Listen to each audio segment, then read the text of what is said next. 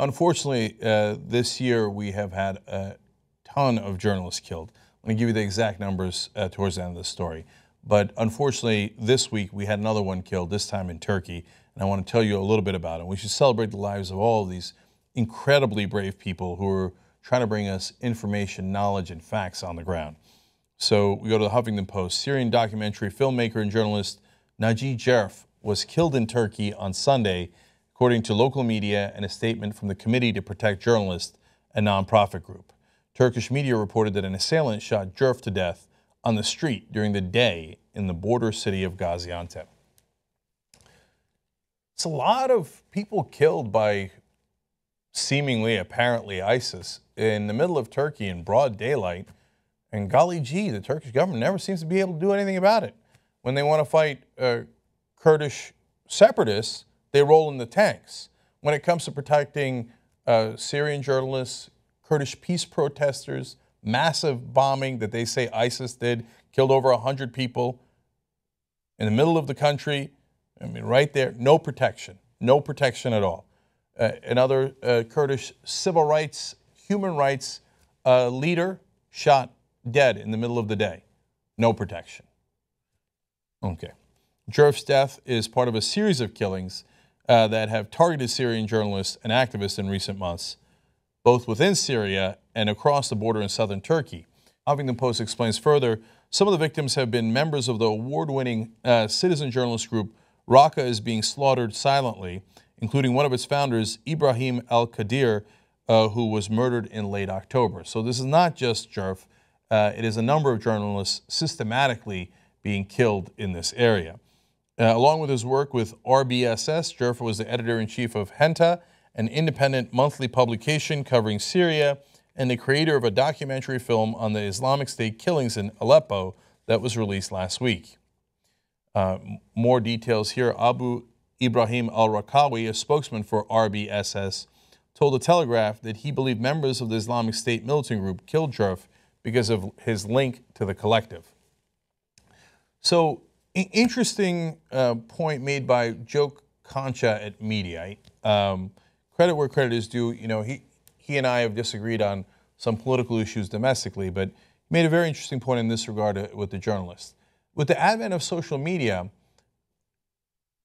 both sides, unfortunately, in, in warfare now, feel like they don't need the journalist. Oftentimes in the past, one side would want to get their news out.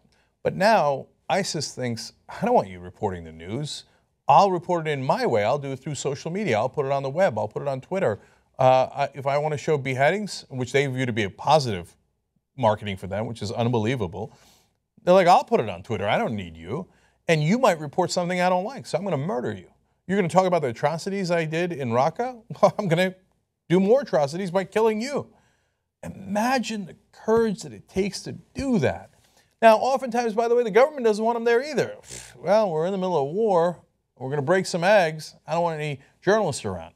Now, in an unrelated uh, story, Turkish tanks are rolling into some of their own cities fighting against uh, Kurdish separatists.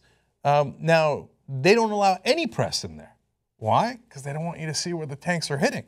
So apparently now nobody wants the press, and that's why they're getting murdered left and right. And in this case, even more tragic, he knew he was in trouble. Cerf, his wife, and their two children had supposedly received visas granting them asylum in France. His friend told uh, AFP he had been planning to fly there this week. Obviously, before he got a chance to do that, he was killed in the middle of the street. Now, to give you a sense of how bad it's gotten for journalists this year, in 2015, the number of journalist fatalities has risen to 110, an increase of 46 deaths in the community since the year before, a 40% increase. Mediaite continues to explain uh, the numbers this year also extend beyond those considered to be professional journalists. Of the 110 deaths, 27 non professional citizen journalists were also killed. This number includes four Bangladeshi bloggers hacked to death by a branch of Al Qaeda for simply advocating tolerance, free speech, and freedom. I've said this before, but it certainly bears repeating in this case.